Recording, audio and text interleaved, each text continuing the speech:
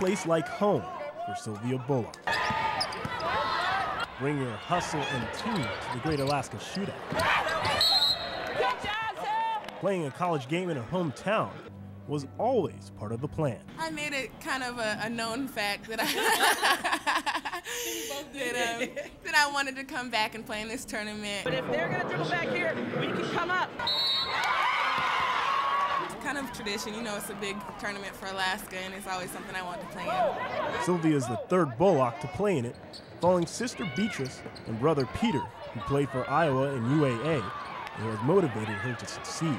I call my brother on Skype all the time. I talk to my sister on the phone. Like everybody in my family is really encouraging, so it's really helpful. Long-standing tradition. Yes! Our parents Clarence and Roxanne I'm her number one fan.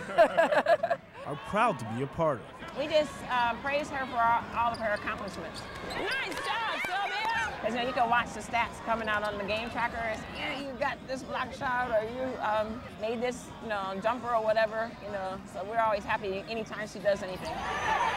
No surprise to her family. Sylvia is a major force out on the court. Oh, great! Yes, Sylvia! Translates into their um, work world and also their academics.